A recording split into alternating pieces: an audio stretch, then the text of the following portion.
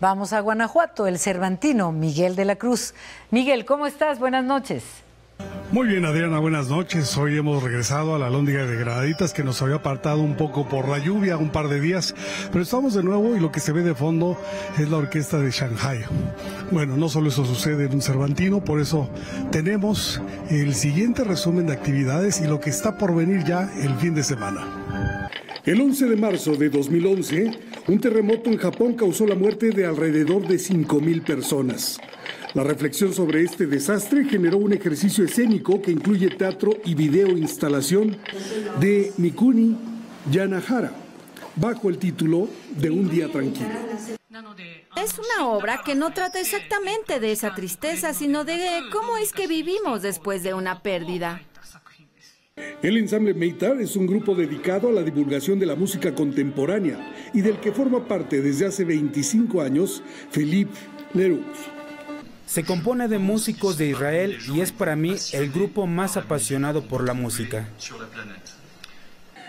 Todo escenario de prestigio en el ámbito operístico ha acogido su canto.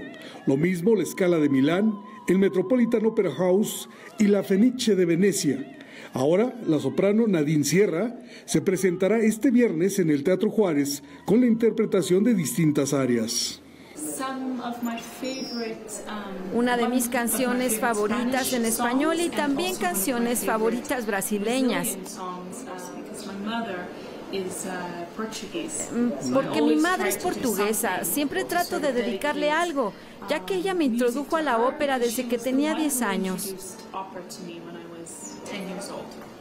Bien, Adriana, otra información que ha causado mucha expectación es la presencia del Teatro de Escandinavia. Presentan una obra que tiene que ver mucho con su etapa de conflicto cuando deja de ser Yugoslavia y se convierte en otra nación. Aquí la historia al respecto. Desde Eslovenia a Guanajuato, el grupo de teatro Ladinsko escenifica una obra de título resonante, Maldito sea el traidor a su patria.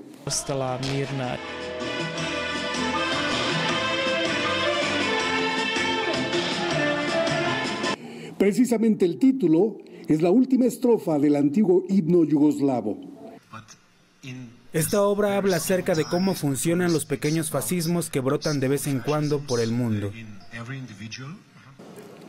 Entre los creadores escénicos que participan ha habido cierto aprendizaje sobre fascismo y democracia, situaciones que incluso se viven actualmente, por ejemplo, en Alemania, con el partido de extrema derecha que ocupa el segundo lugar de las preferencias.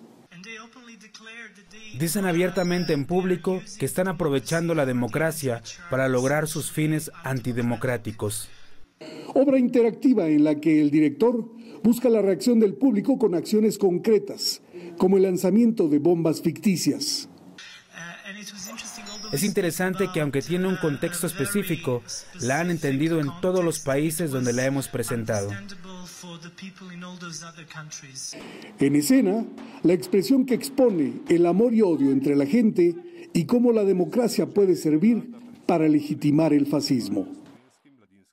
Bien, Adriana, pues así llegamos al noveno día de actividades de la 46 sexta edición del Festival Internacional Cervantino con imágenes de José Luis Cortés y Luis Virgilio. Seguiremos informando desde Guanajuato.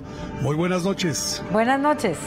Hasta pronto. Hasta pronto, querido Miguel de la Cruz.